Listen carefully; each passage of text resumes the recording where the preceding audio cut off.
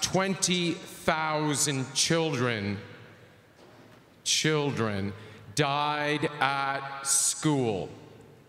At school. Think about it. That's a staggering number, and it's hard to wrap your head around it, but this might help.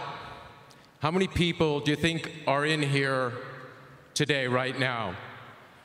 Yeah. 20,000, give or take. 20,000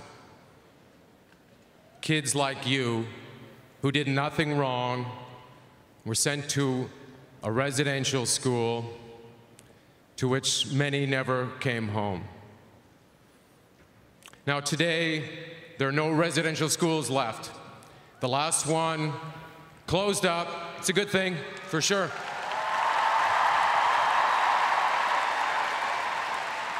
I mean, there never, there never should have been one in the first place, but the last one closed shop in 1996.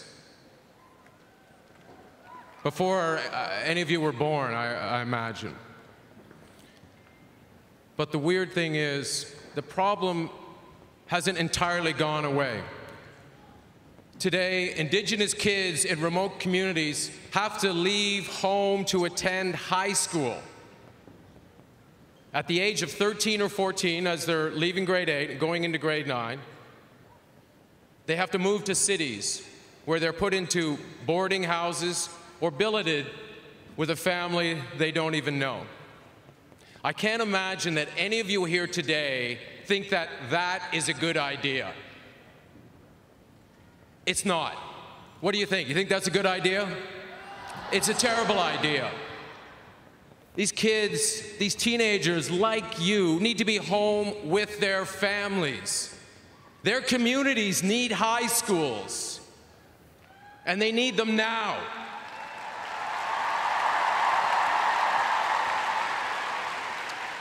Now, the kids that go away to high school, some of them do okay, but many others fall through the cracks. They end up on the streets, they enter into cycles of addiction, and many never make it home. Sound familiar? These high school kids need to be at home. And we need these communities to have high schools. So let's do something about that. I really think it's time for a change. I really do. It's not right.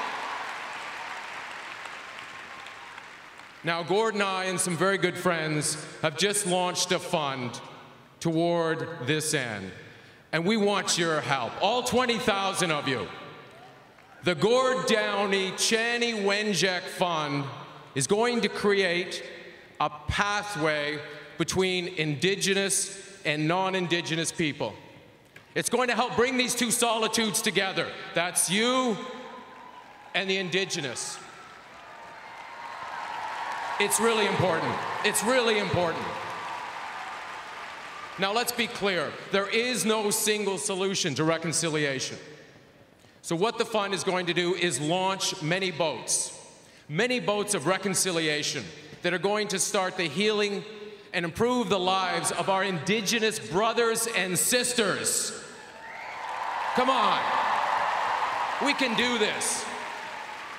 Now, there are already some very smart people paddling their own boat, doing important work, like taking instruments into remote communities and teaching kids how to play, and training teachers down here on the best teaching practices for when they take a job in a reservation. Those things help. Things are starting to happen, and the Downie Wenjack Fund is going to shine a very bright light and breathe oxygen to help these initiatives grow. It's going to take some time, but it has to start sometime, and I think that time is now. Don't you think so? Don't you think so? I do. You know what? I think it's time to show First Peoples who have lived here where we are standing and where your homes are built, have lived here for 10,000 years. That's a big number.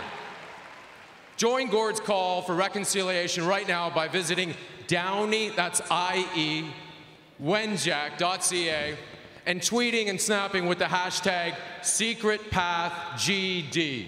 Let's come together. It's our hope. Yeah, let's, let's come together. We want to be a real country. We can be an important country. No one else has done this. This is hard to do, but we can do it. It's difficult work, but we know this generation, your generation, is going to get it right. We're not going to repeat the mistakes of the past. We can do this. Can you help? Will you help? Will you?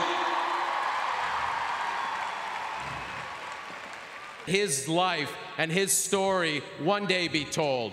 On Sunday night on CBC at 9 o'clock, you can watch the entire Secret Path film and experience Charlie's life for yourself.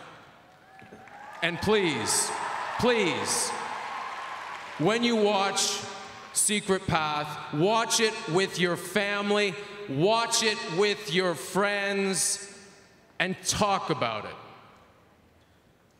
Talk about residential schools. Talk about what each of us can do in the name of reconciliation, and then let's get to work.